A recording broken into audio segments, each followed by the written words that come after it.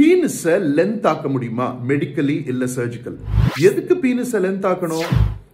நீங்க பார்த்த படங்களும் நானும் பார்த்திருக்கேன். எதுக்கு ஆம்பளைங்க பீனஸோட லென்த் அதிகமா இருந்தா நல்லதுன்னு நினைக்கிறாங்கன்னு எனக்கு தெரியும். பட் மெடிக்கல் எவிடன்ஸ் என்ன சொல்லுதுன்னு பார்க்கலாம். Pills lotions and creams do not work சில மெத்தட்ஸ் இதுல சயின்டிபிக்கா ஸ்டடி பண்ணப்பட்டிருக்கு. அதுல penile stretching and extension devices நாலு மாசத்துல இருந்து ஆறு மாசத்துக்கு போட்டா அரை இன்ச்ல இருந்து ரெண்டு இன்ச் இன்க்ரீஸ் ஆகுது. பினைல் மசில்ல டேர்ஸ் அதனால ஸ்கார் ஃபார்மேஷனும் அங்க இருக்க பிளட் வெசல்ஸ் கொஞ்சம் டேர் ஆறதுனால கிளாட் ஃபார்மேஷனும் சைடு எஃபெக்ட்ஸ்னு டாக்குமெண்ட் பண்ணிருக்காங்க. Surgical release of suspensory ligament இது உங்களோட லென்த்தை இன்க்ரீஸ் பண்ணும். பட் இதுல reduction of erection and importance ஒரு சைடு எஃபெக்ட் இதை தவிர சயின்டிபிக் ரிசர்ச் என்ன சொல்லுதுன்னா கர்த் ஆஃப் பீனிஸை விட well groomed athletic and kind மென்னு தான் விமனுக்கு பிடிக்குதான் எதுக்கு இழுத்துட்டு அறுத்துட்டு? பீனிஸ் லென்த்னிங் இந்த காம்ப்ளிகேஷன்ஸ் எல்லாம் இருக்குன்னு தெரிஞ்சுட்டு இந்த ப்ரொசீஜர்ஸ் நீங்க அண்டர்கோ பண்ணுவீங்களா?